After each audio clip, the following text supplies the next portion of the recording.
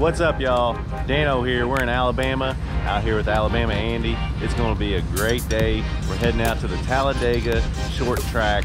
We're going to get the Dano's car out there on the track. And uh, so stay tuned.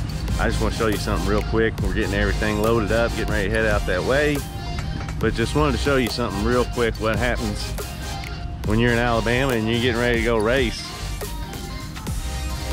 Just hang your suit up off the front porch and let everybody know you're racing today.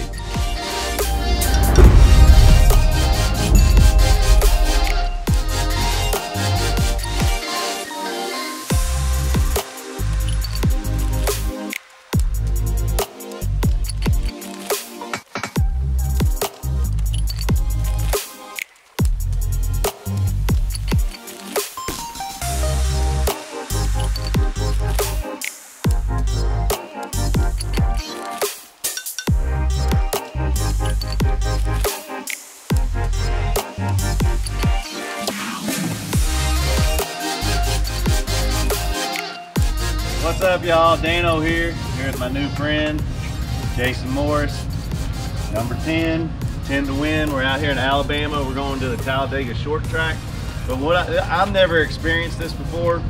Here we are, Dano sponsoring a car. Y'all met Bama Andy. He's the one holding the camera right now. But here we are. All I wanted to do is really explain to you guys and let Jason explain to you the aerodynamics. Because when you look at this car and you see all these funny shapes, how everything, you know, each side, nothing's the same, everything, it's all aerodynamics. So I'm gonna kind of let Jason take over and just kind of show you, because this, this, this car only takes left turns. So it's go round and round and round. So everything is designed to be as fast as possible. So I'll let him kind of explain to you and uh, we'll show you what's up with this.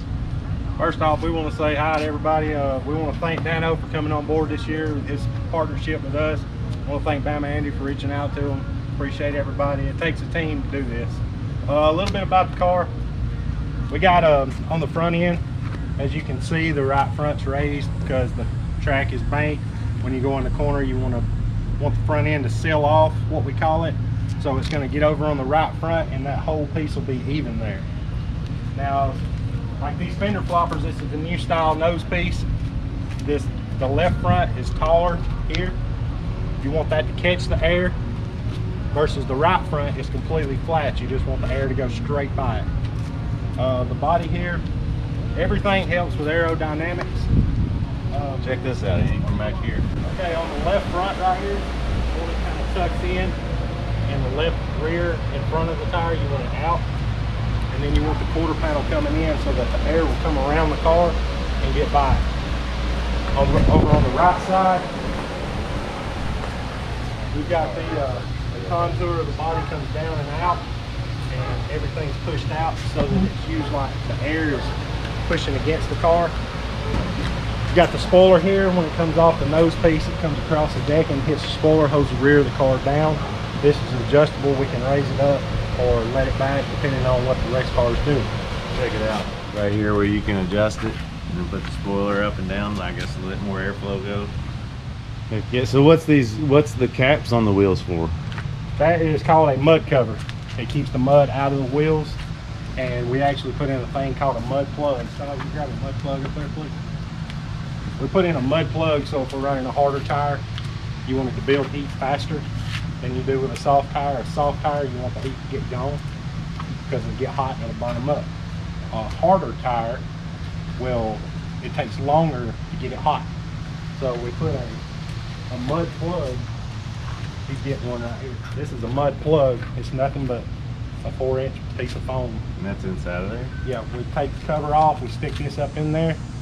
A lot of people um, use them to keep mud out of their wheels. Hmm. And some of the bigger guys, late model guys, they use them to get heat in their tires. So Hmm. that's what that's used for. Hmm. Pretty cool. Look at this right here, Andy. Look how the, uh, like he was saying before, how this, what do you call it? It's called a, a fender flopper or a nose flare. Or, But it's totally different than the one on the other side.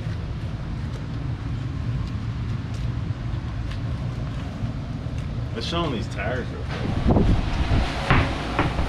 All right, this tire right here is a soft tire. It's called a 1350 or a D21. And um, this is a front tire.